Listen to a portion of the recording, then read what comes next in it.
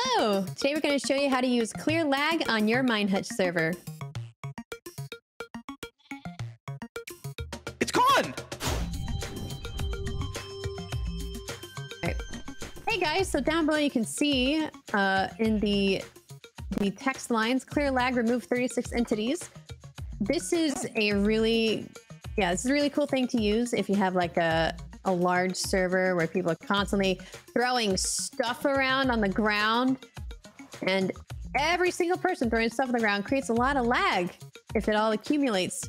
So it's nice like every like 60 seconds, every two minutes, every five minutes, depending on how you need to do it to have just to have it clear the lag on the ground and it gives you a warning. It tells you when things are going to be deleted. So if someone has thrown their, their netherite fully enchanted sword on the ground and it says clear lag in 60 seconds, they're like, oh, I got to pick that up really quickly. Oh, but, um, no. oh no. Sorry, I'm just leaving Oh, a few just- things over here. Yeah, oh no, Trent, it would be a shame if other lag entities on the ground were suddenly cleared. W- w- wouldn't it? Oh no. My Oh. items! Oh no! My bad. Oh.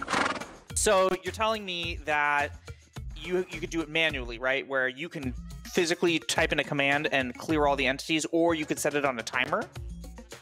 Correct. Yes. And to set the timer to whatever you want, you just go into the config file and under auto removal, you can change the message, you can change how often it clears, all that good stuff. Right on. Does that answer your question, Michael? Yeah? Cool, cool, cool. Say someone on your server got a little too crazy with the panda breeding. Oh my god! Did it get too, is that too many pandas? Uh, uh, it might be a, yeah, might be a little too many pandas. Well, Okay. all you gotta do is type in this handy dandy command L-A-G-G kill mobs and it's all clean. Look at that! but you might notice that all these horses which are tamed did not get cleared because they're not mobs oh. now, they're tamed animals. So if they have tamed Oh. wolves or tamed cats or tamed horses, those will not be cleared by it. So I'm gonna spawn a couple more animals. Let's say uh parrots. I'm gonna It's so spawn some cute. parrots over here. Spawn some parrots over here. All right, so say we want to keep this animal sanctuary clear, but you know what? There's a few too many animals over here. Let's uh, you, you can do a radius just to get rid of all the animals over here. Okay. So let's do lag mm, area radius of maybe let's just do 20 blocks for now. That just cleared all the Ah. ones around me. Alright, I'm ready. Okay. All right. Another thing you can do to check the the health and lag of your server is do lag memory. This will give you a really cool map that updates in real time.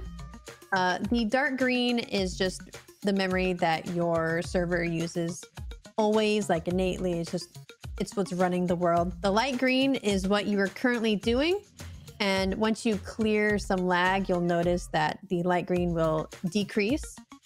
Uh, and it, it resets every like 32 seconds.